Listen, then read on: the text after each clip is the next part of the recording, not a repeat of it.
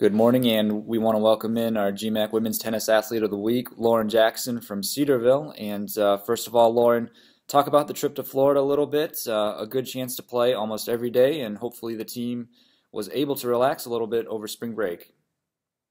Yeah, it was. It was a lot of fun. Um, we played five matches down there, and we did have some time to hang out by the pool. Um, we had a meeting as a team every night for uh, we all gave our testimonies. So that was good. It was a time of growth and getting to know the girls. So it was a lot of fun.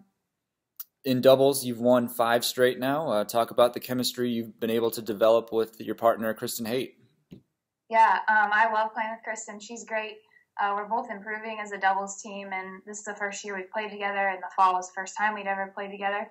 So um, we're just working really on getting better, getting stronger, and being able to get an extra point for the team. Um, and we have been playing well together, and it helps that we're friends on and off the court too. Now, you were able to play Alderson Broaddus before the conference schedule starts on Friday. Uh, was it helpful to see a GMAC opponent before the league schedule gets underway?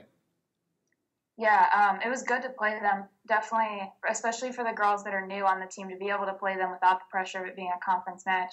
And we came out with an 8 1 win, so that's going to be a big confidence booster for us going forward in the season. Mm-hmm.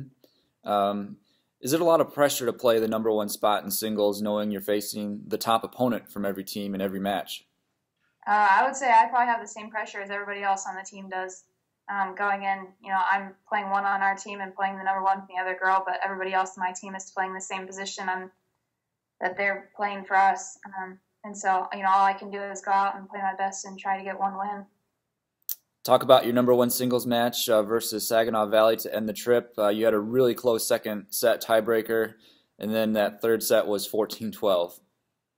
Yeah, yeah, it was a good match. Um, I knew going into it that they were going to be a tough team, and um, didn't really decide that I could win the match until I was down 4 1 in the second set. So it would have helped if I would have gone into it a little bit more confident, but I played well, and that's all I can take out of it. So.